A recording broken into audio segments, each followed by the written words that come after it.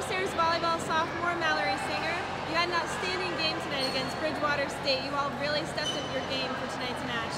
What were some of your initial thoughts going into tonight's game? Um, well, us as a team knew that this team is incredibly beatable, and we worked really hard to make sure that that's possible.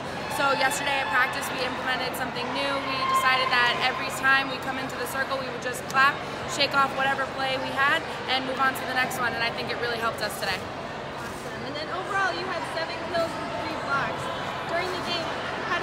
Work together to win?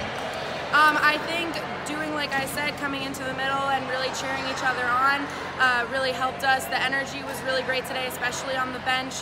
Uh, it really helped us out on the court and make sure that we aren't in our heads and we're really enthusiastic today. Awesome. Well, great job on your win tonight. Thank you.